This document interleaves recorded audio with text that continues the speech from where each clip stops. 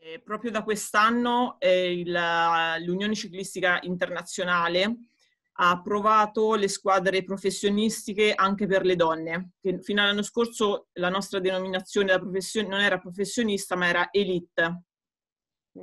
Questo significava che non c'erano assicurazioni, che non, c'erano, cioè, non c'era fondo pensionistico e questa è stata una, una lotta che abbiamo portato avanti da, da tanti anni. Io sono entrata nel mondo del professionismo, tra virgolette, nel 2003 diciamo soprattutto negli anni 2000, dal 2006 al 2012 c'è stato un forte cambiamento. Eh, ci sono state tante riunioni, tanti incontri con uh, la federazione, con i vertici del, della federazione, anche perché in quegli anni eh, noi donne abbiamo vinto molto di più rispetto agli uomini. Abbiamo ottenuto molti più risultati sia a livello di mondiali, di titoli europei pertanto era, era l'Italia al femminile nel ciclismo che portava avanti la federazione.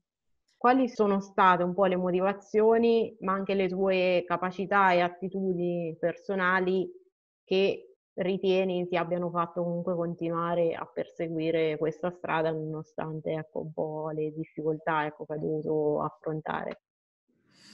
Allora, sicuramente eh, sono, una, sono, una, persona molto testarda, perciò quando si, si, mette in testa una cosa, essendo anche ariete,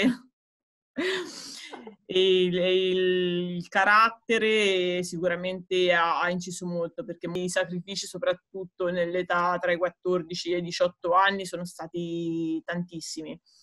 Però lo sport mi ha sempre dato quella grinta e quella, quella visione del mondo di, diversa perché comunque sia ti metti a confronto, eh, cresci con eh, altre ragazze eh, di, altre, di altri paesi, di altre regioni, ti confronti, hai una visione maggiore. Ho fatto tanti sacrifici, però ho realizzato comunque sia il sogno delle Olimpiadi e sono riuscita ad arrivare al, all'apice dello sport.